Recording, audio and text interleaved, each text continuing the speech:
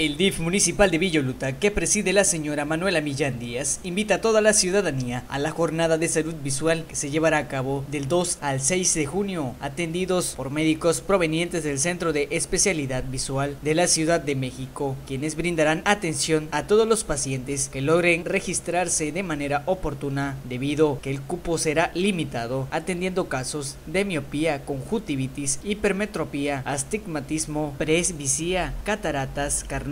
entre otros. El DIF municipal está haciendo la entrega de folios de manera anticipada para que todos los pacientes que logren sacar su ficha puedan recibir atención médica especializada en las instalaciones del domo del Parque Central, sacando cita de manera previa en la unidad básica de rehabilitación YAPEC, ubicada en la calle Ignacio Zaragoza, esquina con Francisco Villa del barrio cuarto de este lugar.